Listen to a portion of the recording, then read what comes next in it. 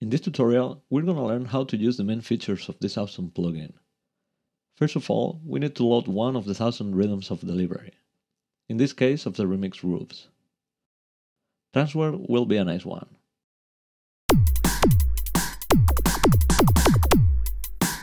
You can halve the speed in only one click.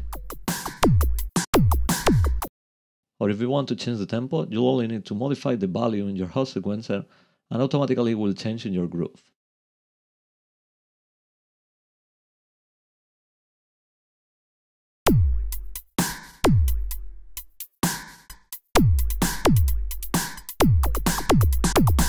The slice menu option will be your choice if you need the drum separated in each note of the keyboard, so you can create your own rhythm.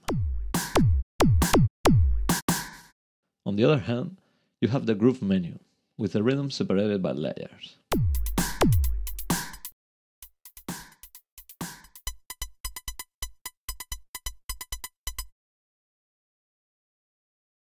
I'm gonna load another groove to see how works the output assignment.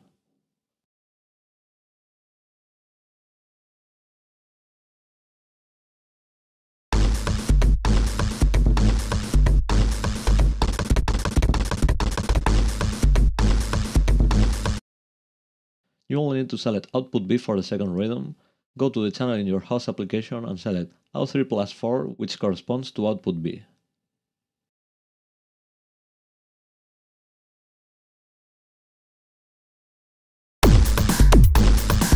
Now, as you can see, channel 2 of the Stylus corresponds to the channel 2 of Pro Tools. And the same applies to the first channel. Furthermore, you can control the volume of every channel in your plugin.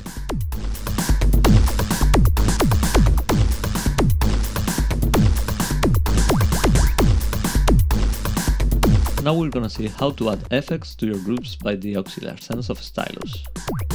Click the Effects tab. Here you can add up to 3 different effects into any of the 4 auxiliar sends, master or by insert.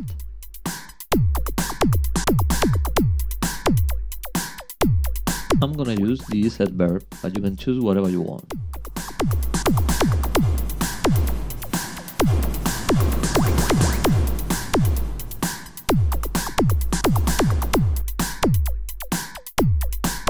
Let's see the functionalities of the Edit tab. We can choose between low pass filter, band pass filter or high pass filter within the power filter section.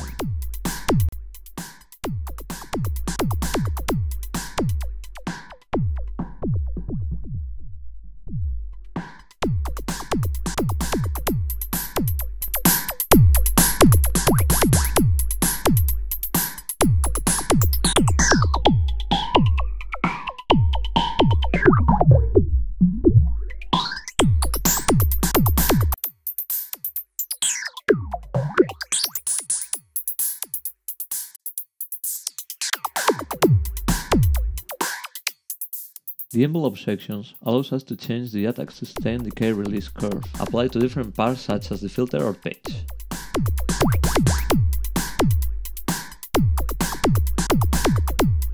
The master filter is another nice and easy way to filter the signal and you can filter any of the rhythms selected on the mixer tab.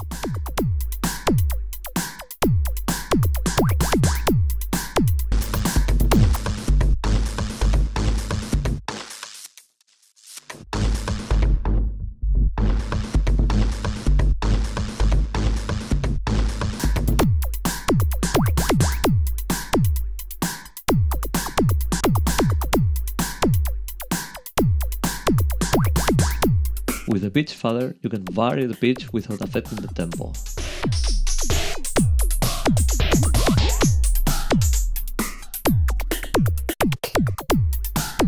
And finally, low frequency oscillator.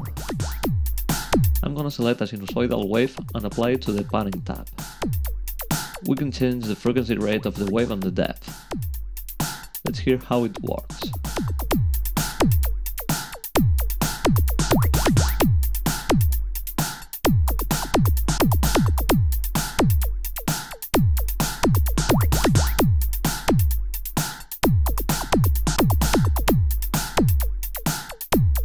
Started with the Chaos tab. First of all, we need to click the On button. The reverse fader is one of the most useful.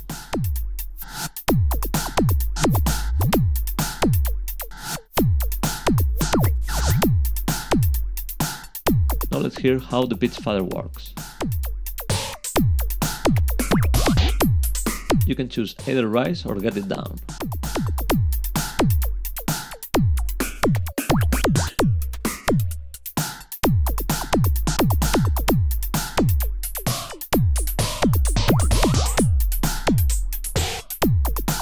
Finish this tutorial, I'm gonna show the drag and drop functionality. With the sound you want and the groove menu selected, click on the MIDI file drag and drop and drag it into your sequencer. Now you have the MIDI file in your sequencer, and you can play it either through your transport window or through your plugin. I hope this tutorial has been useful for you. Thanks for watching.